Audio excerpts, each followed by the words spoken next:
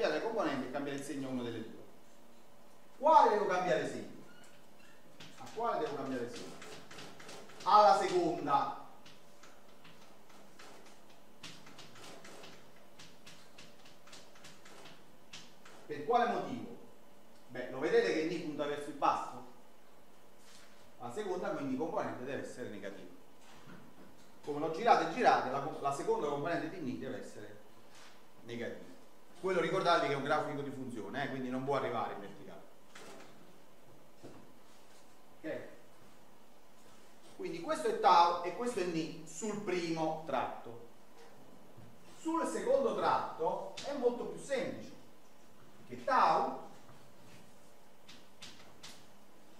quando vado a derivare qua, è 0,1 secondo tratto tau uguale 0,1 e chi è mi? è 1,0 mi quello esterno punta verso destra quindi è 1 a 0 cambi segno ma tanto è 0 rimane 0 sul terzo tratto tau è 1 alfa primo, eh, beta primo di t.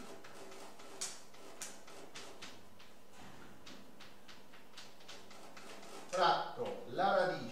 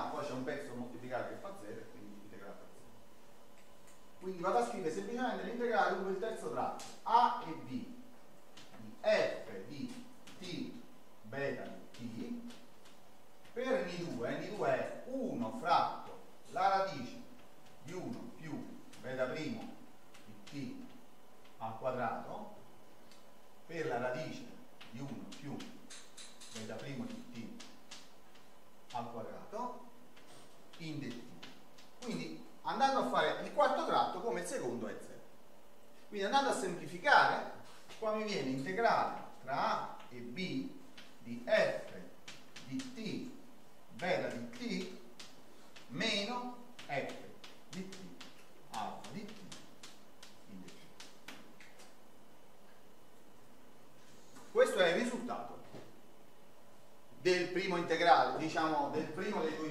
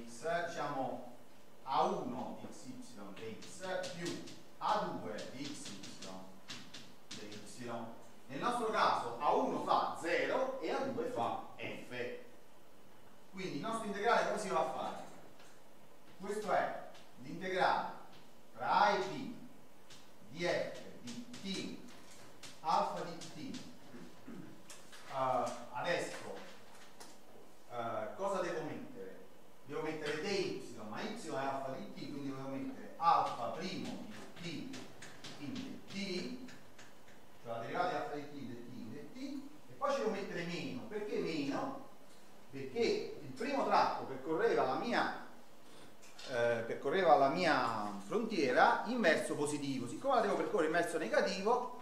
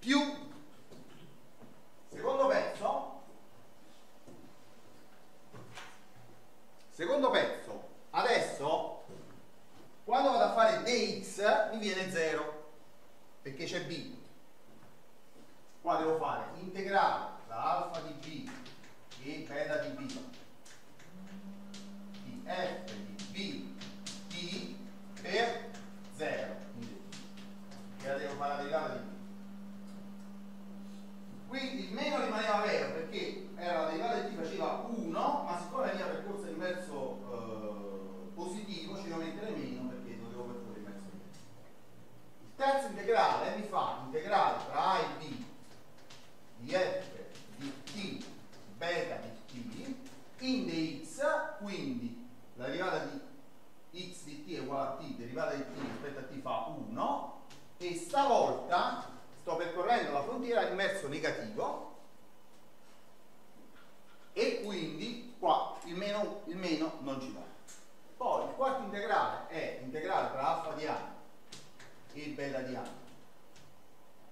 qua teoricamente sarebbe meno, eh? però tanto fa 0. Meno perché questa percorrenza era sempre positiva, invece io la devo percorrere in mezzo negativo.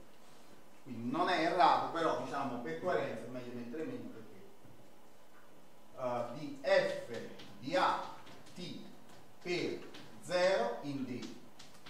Alla fine cosa viene? Viene integrale tra a e b di f di t bella di t meno f di t alfa di t in e come vedete viene esattamente lo stesso risultato. L'ultimo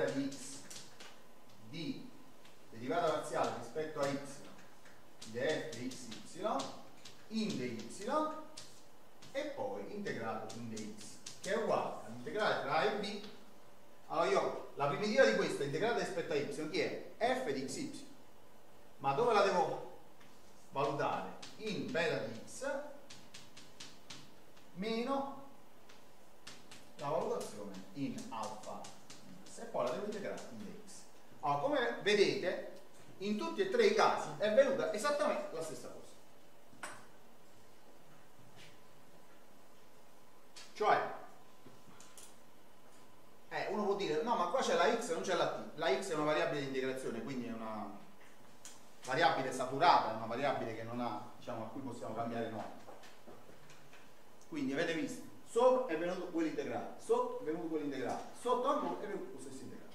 Quindi, questo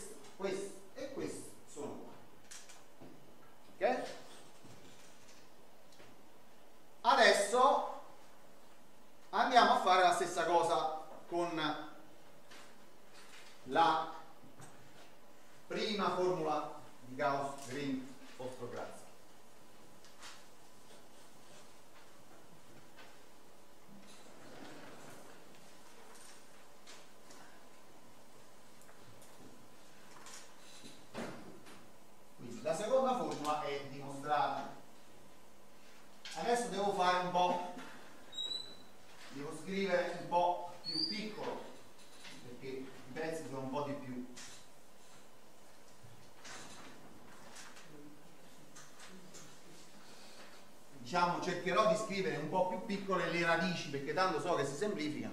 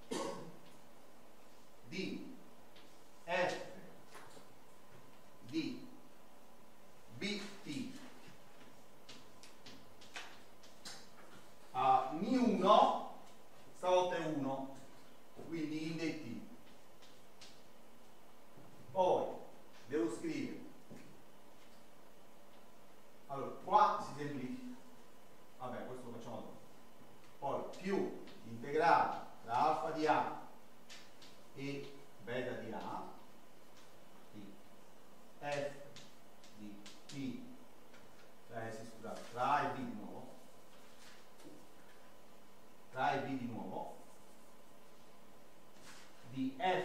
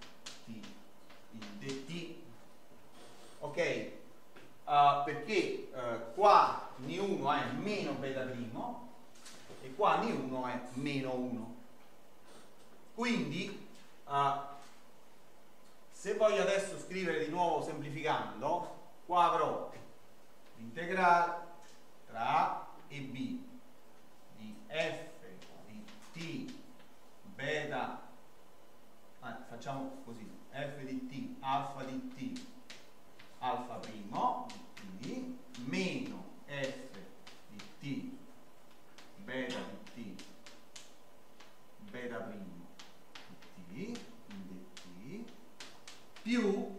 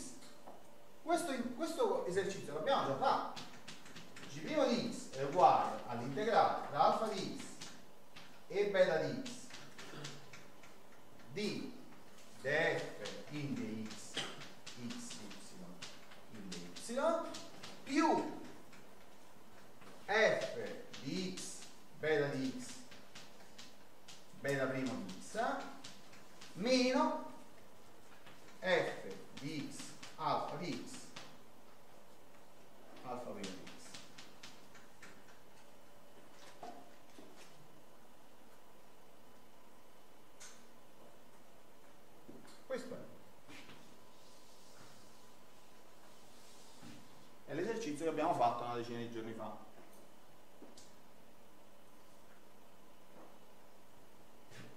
Allora, utilizzando questo esercizio, questo integrale a t è uguale a g' e questi due li devo portare dall'altra parte. Quindi qua posso scrivere questo è uguale all'integrale tra a e b di g' di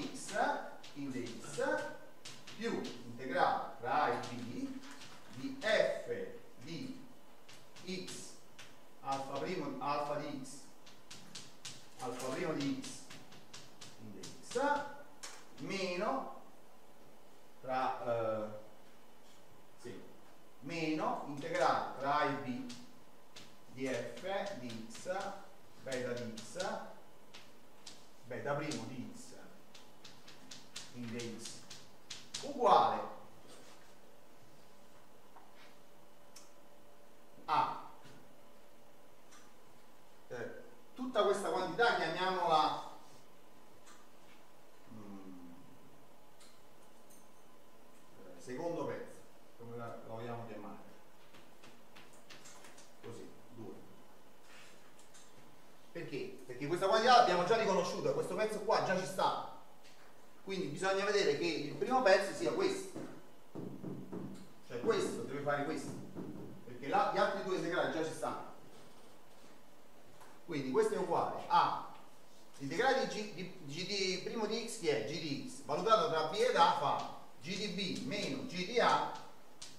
più quel secondo pezzo che abbiamo già calcolato.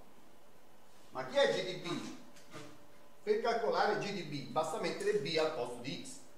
Quindi questo è integrale tra A e B, eh, scusate, tra alfa di B e beta di B, di F di B, Y in y.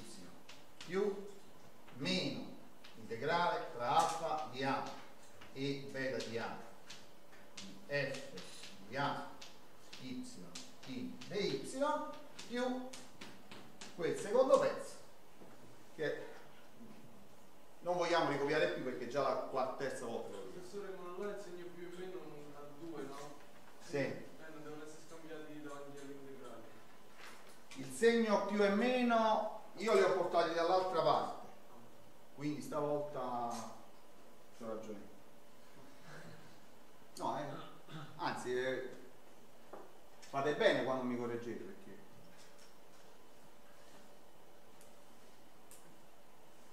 Allora, quindi, allora, questo ci sta,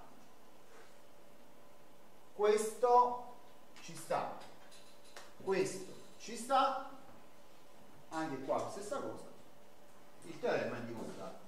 Uh, uno può dire, vabbè, ma qua c'è la y, qua c'è la y e qua c'è la x, e là si chiama t. Non fa niente, quella è una variabile che ci sta si chiama variabile di Mutter oppure in informatica chiamate variabile di servizio, ci stai facendo un integrale sopra. Ok? quindi sono variabili saturate e quindi come le chiami chiami eh, ottieni sempre lo stesso risultato. Quindi questo è la fine della dimostrazione del eh, teorema di, eh, sulle formule di Gauss prima di fare un'altra piccola pausa dopo facciamo esercizi andiamo a far capire che le formule di Gauss-Green valgono per insiemi più generali. Cioè praticamente in un certo qual senso valgono sempre. Sempre no? diciamo che innanzitutto per poterle almeno capire noi bisogna che ci sia la frontiera cioè dell'insieme sia local, meno localmente eh, si possa scrivere con una curva poi vedremo più avanti il teorema del King date le condizioni sufficienti affinché questo sia possibile. Però diciamo, quello che voglio far capire sono due o tre cose. Vediamo un po'. Voi sapete che già dall'anno scorso ho la passione per gli insiemi. Allora, vediamo un po'. Eh, se qua, vediamo un po'. Andiamo a fare la normale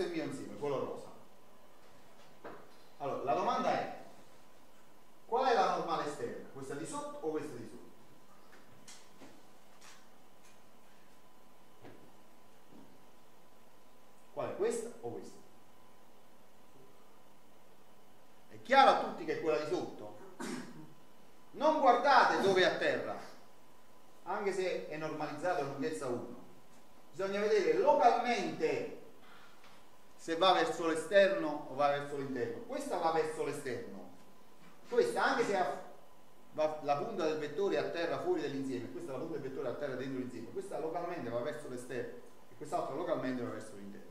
Quindi quella che punta verso l'interno, che punta verso l'esterno. Quindi la normale esterna è questa qua.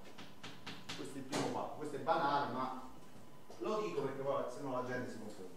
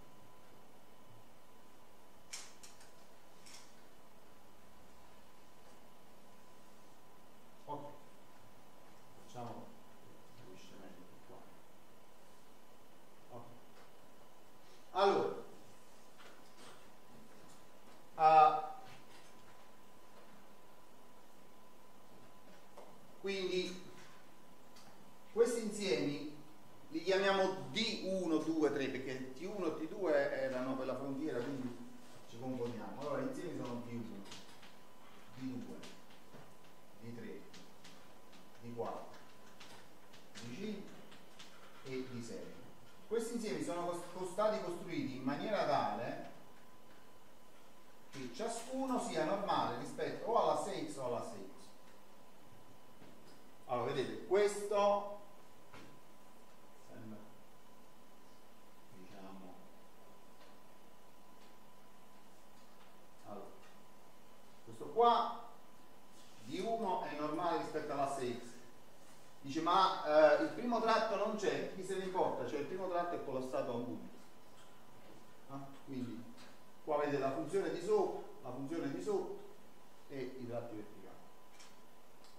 Poi eh, questo qua è, è, normale rispetto alla cioè normale rispetto a uno dei due assi significa che è un'unione di segmenti verticali e di segmenti orizzontali. E così sono tutti normali. Allora io che cosa posso scrivere? io posso scrivere che l'integrale per esempio scriviamo la prima formula. Integrale esteso a d1 di f di 1 in S è uguale a integrale steso di df di f di 1 in S è uguale eh, su d di 1 è uguale a integrale steso di 1 di df in dx a dx dy poi integrale esteso alla frontiera di d2 di f di 1 in ds uguale integrale esteso dx dx da y. Poi puntini puntini arrivo fino all'ultimo integrale d di 6 di f di 6 di 1 in ds uguale integrale a su d6 di f in dx a questo punto prendo e faccio la somma. Allora qua è chiaro mi viene l'unione di tutti qua sono insiemi essenzialmente disgiunti, cioè sono attaccati lungo la frontiera, quindi l'integrale, diciamo tutto l'insieme lo chiamiamo D, gli farà l'integrale lungo, diciamo su tutto D di df in dx, dx, dx. Allora, andiamo a vedere che cosa succede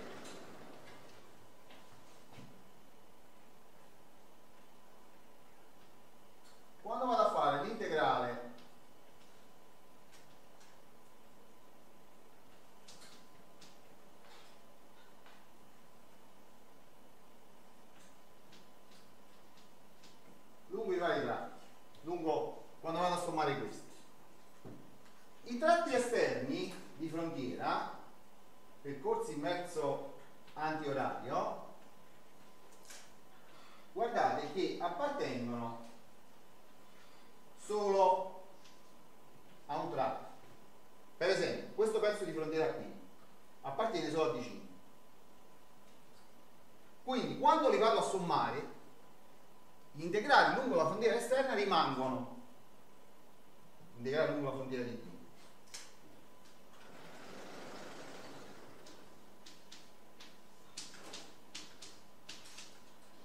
E cosa accade agli altri tratti? Prendiamo un pezzo di frontiera, diciamo, di, dei D con I, che però sia interna a D. Per esempio, prendiamo questo tratto qua, o questo tratto qua. Allora, questo tratto qua, ah, mi sono dimenticato di... Sì.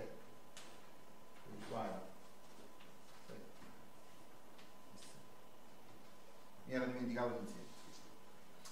Però non cambia niente. Ok, allora prendiamo il pezzo di frontiera che sta tra D4 e D5. Ora, questo pezzo di frontiera, guardate, quando io percorro la frontiera di D5 in senso antiorario, io lo sto, vabbè non mi interessa il senso del pezzo antiorario orario, mi interessa la normale, perché sto facendo il primo integrale di 5. La normale a 4, quella esterna, punta verso 5. La normale a 5 esterna punta verso 4, quindi sono due normali opposti. Quindi quando li vado a sommare quei pezzi, mi porteranno due segni opposti. Uno nell'integrale quando lo faccio sulla frontiera di D4 e l'altro nell'integrale quando lo faccio sulla frontiera di D5. Quindi che cosa succede? che i due integrali si cancellano. Quindi tutti i pezzi di integrale lungo la frontiera interna, diciamo i pezzi di frontiera di tipo I che sono interni a D si cancellano e tutti i pezzi di integrale lungo la frontiera esterna rimangono. E quindi andando a sommare, qua vi trovate l'integrale su D, qua vi, trovate, vi trovate l'integrale esteso alla frontiera di D, di F in in S avete trovato la formula di Gauss-Green. Uno dice, ma questo vale per il primo integrale e il secondo integrale? Il secondo integrale dipende dal verso. Mettiamo il verso di percorrenza positivo. Allora, se voi andate a mettere il verso di percorrenza antiorario, vi trovate che tutti i pezzi esterni vengono percorsi in verso di percorrenza antiorario. Per quanto riguarda i pezzi interni, il verso di percorrenza antiorario lungo T4, quando percorro questo pezzo qui, me lo fa percorrere dal basso verso l'alto. Il verso di percorrenza antiorario lungo T5 me lo fa percorrere dall'alto verso il basso che significa che quando andrò a fare la mia sostituzione, andrò a calcolare l'integrale, il pezzetto di integrale mi verrà con due segni anche lì opposti. E quindi quando li vado a sommare se ne vanno e quindi anche diciamo analogamente qua abbiamo l'integrale esteso a d di più df di y di dy ok? quindi abbiamo esattamente eh, le stesse formule di Gauss-Green. Quindi basta, affinché le formule di Gauss-Green siano valide, basta che l'invio insieme si possa spaccare in numero finito di insiemi che sono normali o rispetto all'asse x o rispetto all'asse y. Quindi effettivamente la cosa funziona. In realtà si potrebbe dimostrare un altro terreno un po' più generale, che quindi le formule vanno ancora un po' più in generale, ma bisognerebbe usare eh, la partizione dell'unità e mi sembra una punizione inutilmente, diciamo, quella non la faccio. La matematica si fa chiaramente, però l'ingegneria mi sembra esagerato farla. Quindi tenete conto che in realtà diciamo, le formule valgono in qualunque contesto riusciate a pensare ma ok quindi questa è la situazione C'avevo un'altra osservazione che però mi è sfuggita? non mi viene in mente, se mi viene in mente più tardi ve lo dico.